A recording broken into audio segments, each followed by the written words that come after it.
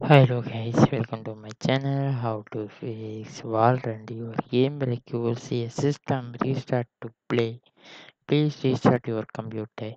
This is the not for the problem. You will restart to this problem is solved.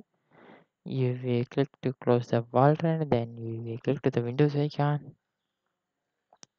Get restart your PC or laptop to this problem is solved.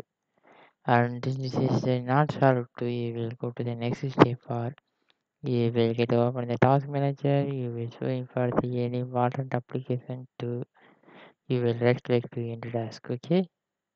Then this is then not showing. Then I will click to the close. You will showing to you will right click to enter task. Okay. Then go to the next step for you will click to the services.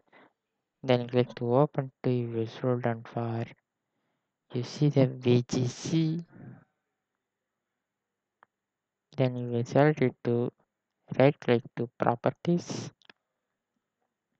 you will see the service name for the VGC then startup type for the you will change the automatic this is the already automatic then you will get automatic then click to apply then see the services status for already is running then I will click to OK this is the you will stop it to you will change the running okay? Then go to the next step for this is a, this two service to this problem is not solved. To you will go to the next step for you will get to open the control panel then click to the uninstall your program